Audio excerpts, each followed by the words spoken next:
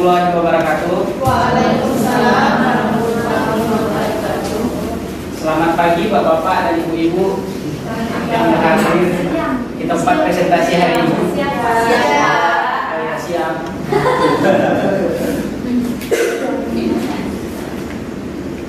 Yang pertama-tama marilah kita berdoa dulu sebelum memulai.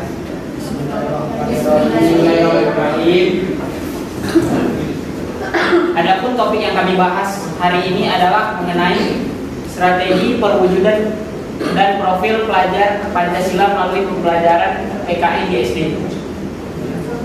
Perkenalkan nama saya Muhammad Azwar Agustin sebagai moderator dan di sebelah saya ada Erna Lydia sebagai pemateri pertama dan ada Ayu Zahra Lestari sebagai pemateri kedua dan ad- ada Fitri Ramadhani sebagai pemateri. Di sini saya akan memimpin jalannya diskusi ini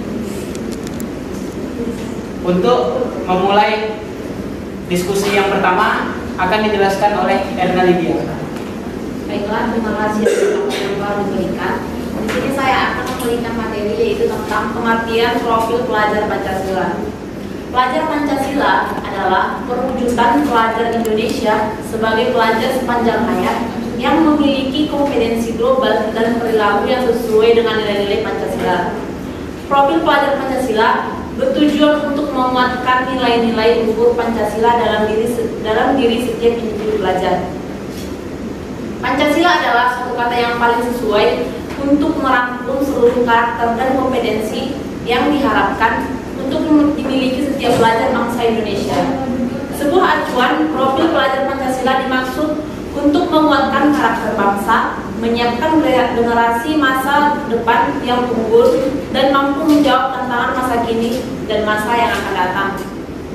Berikutnya yaitu ciri-ciri pro- profil pelajar Pancasila. Yang pertama ada beriman, bertakwa kepada Tuhan Yang Maha Esa dan berakhlak mulia. Berakhlak mulia. Yang berikutnya yaitu berkebinekaan Indonesia, mempertahankan kebudayaan luhur, lokalitas dan identitasnya. Di mana seorang pelajar pelajar Pancasila diminta untuk me- melestarikan budaya sendiri serta memperkenalkan budaya ke kepada orang orang lain atau orang baru serta juga tidak tidak me- tidak me- mengacukan atau selalu menghargai budaya-budaya lain. Yang berikutnya yaitu seorang pelajar Pancasila harus memiliki e, kemampuan atau jiwa gotong royong. Yang keempat, seorang pelajar Pancasila harus menjadi pelajar yang mandiri.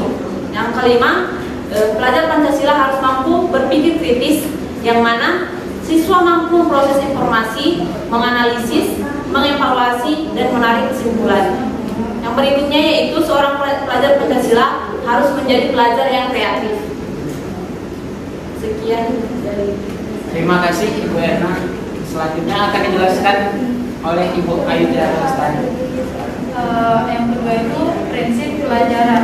Eh, untuk mencapai profil pelajar Pancasila di SD perlu terwujud pembelajaran yang pertama itu dirancang dengan mempertimbangkan tingkat pencapaian peserta didik saat ini sesuai kebutuhan belajar serta mencerminkan karakter dan eh, perkembangan pada anak peserta didik. Dirancang yang kedua dirancang dan dilaksanakan untuk membangun karakter eh, untuk membangun kapasitas belajar peserta didik dan kapasitas mereka untuk menjadi pembela- pelajar yang sepanjang hayat. Yang ketiga, mendukung perkembangan kognitif dan karakter peserta didik secara berkelanjutan dan holistik. Yang keempat, relevan yaitu pembelajaran yang dirancang sesuai konteks kehidupan dan budaya peserta didik serta melibatkan orang tua dan komunitas sebagai mitra. Yang terakhir, ber- berorientasi pada masa depan yang berkelanjutan. Eh, materi yang keempat itu perwujudan profil pelajar Pancasila melalui pembelajaran PKN SD. Pendidikan Pancasila dan kewarganegaraan sebagai pemeran penting. Perlu mengenalkan sebuah materi pendidikan PKN Pancasila yang dihubungkan dengan nilai-nilai karakter bangsa. Eh, ada ada beberapa karakter yang menjadi patokan dalam pengembangan karakter bagi generasi muda eh, khususnya pelajar yang ada dua yang pertama itu religius dan jujur religius itu sikap yang patuh terhadap ajaran agama yang dianut eh, namun tidak meremehkan agama yang lainnya dengan dengan karakter yang religius diharap, diharapkan dapat menjadi landasan nilai moral dan etika dalam dalam bertindak. Yang kedua itu jujur, perilaku yang didasarkan pada upaya menjadikan dirinya sebagai orang yang dapat dipercaya dalam perkataan, perilaku dan pekerja dan perbuatan. Terima kasih Ibu Aizara Lestari atas penjelasan materinya yang sangat bagus. Selanjutnya akan dijelaskan oleh Ibu Fitri Ramadhani. Selanjutnya, saya di sini akan menjelaskan tentang tujuan profil pelajar Pancasila. Tujuan pro- profil pelajar Pancasila ini ada lima. Yang pertama itu mendukung, visi dan misi Presiden untuk mewujudkan Indonesia maju yang berdaulat, man- mandiri dan ber- berkepribadian. Terus yang kedua itu ada menunjukkan karakter dan kompetensi yang diharapkan. Ketiga adalah membentuk generasi muda yang baik dan paham akan hak dan kewajiban sebagai warga negara Indonesia. Yang keempat adalah membentuk pelajar yang memiliki rasa cinta dan nasionalisme terhadap negara Indonesia. Dan yang kelima ada generasi muda tidak tidak tercabut dari akar budayanya dan agar mereka berpikir dan bertindak dalam kehidupan sehari-hari dengan berlandaskan Pancasila. Terus selanjutnya ada nilai-nilai Pancasila.